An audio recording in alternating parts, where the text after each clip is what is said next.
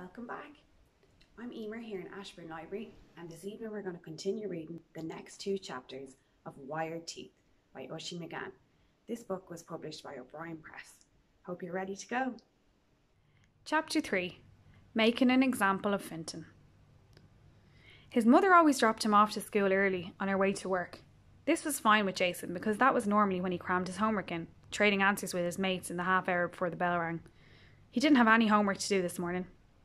But as he walked into school with his lips tightly closed, his brain was working overtime. There was a strange tingling in his teeth, which for some reason reminded him of static on a radio.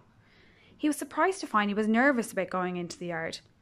Usually he was the reason other people were nervous. On an empty lot opposite the school was a huge steel phone mast that had gone up earlier in the year.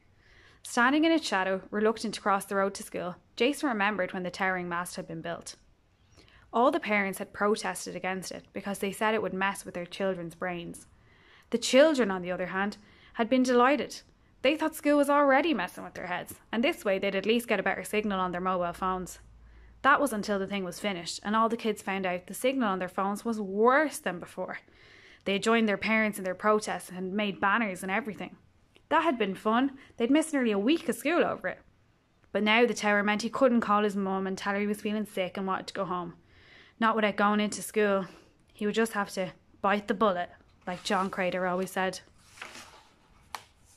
His class normally gathered in the same place in the yard near the door to their room, and some of them were already there. He found Fintan sitting against the wall with a book open on his lap. The sap was always reading. Jason went up to him and leaned his face in close. Hey, Fintan, he said, loud enough for everyone to hear him. What do you think of my new braces? Fintan looked up as Jason bared his teeth at him. Jason saw the corners of his mouth begin to curl into a smile and savagely grabbed him by his ears, pulling him onto his feet. What did you say? he snarled. I didn't say anything, Fintan protested. You made about you made a crack about my braces, you little git. Say it again, or don't you have the guts to say it to my face? I didn't say a thing, Fintan whined frantically. Jason saw more of his class walking up towards them and knew this was the time. He swung his knee hard into Fintan's thigh, giving him a dead leg. Fintan collapsed to the ground, crying. Jason took out his carton of milk, opened it, and splashed some over his unwitting victim's hair. Fintan would wipe the worst of it off, but in the summer heat it would be smelling before the end of the day. Jason stood over him, his fist held out. Don't you ever try it on with me, or I'll kill you, you little brat, you hear me? But it didn't matter if Fintan heard him. Fintan had learnt that lesson long ago. It was the rest of the class, everyone else who had to hear him. As he walked away, Jason heard a voice from somewhere close by, but tinny, like it was on a radio.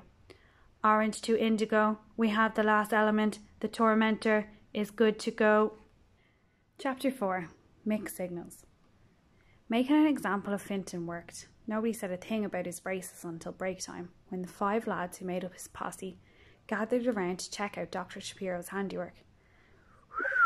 They look serious, Vince whistled. Do they hurt? Not much, Jason said casually. Do they catch on the insides of your cheeks? Tony asked. He had train tracks, and sometimes they cut the inside of his mouth. No, Jason replied. I mean, they feel really big in my mouth, but they're not sticking out anywhere, you know. The guy said they were like future technology kind of thing. He explained how they worked by remote control. The lads were suitably impressed. Cool, said Vince.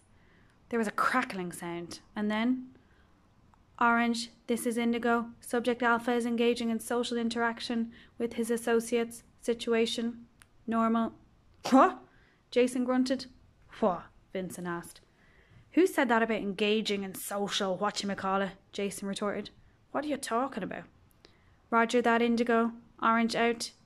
Jason flinched and then looked at the questioning faces of his posse.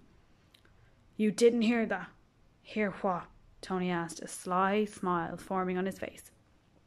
Jason knew that smile and the sideways glance towards the others. He knew it because he did it often enough himself. Tony was getting ready to slag him.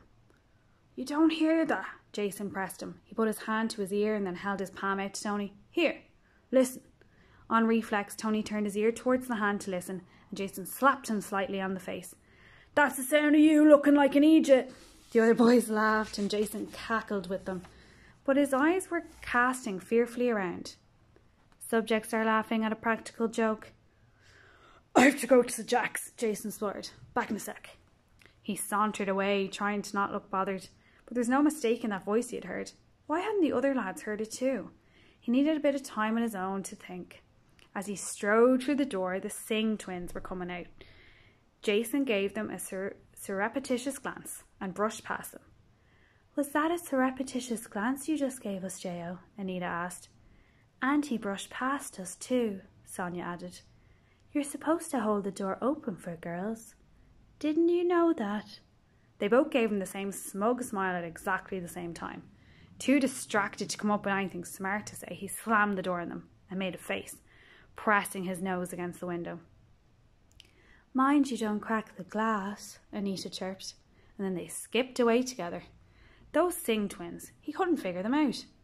Barging into the boys' toilets, he hurried into one of the cubicles, bolted the door, and sat down on the loo seat. Something weird was going on, and he didn't know what. he let out an exasperated sigh.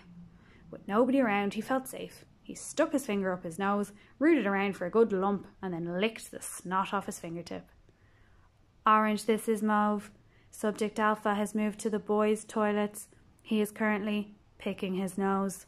Jason stood up with a jolt, staring around at the walls of the cubicle, up at the ceiling, and down at the gap under the door. Roger that, Mauve. Keep me posted. Orange out.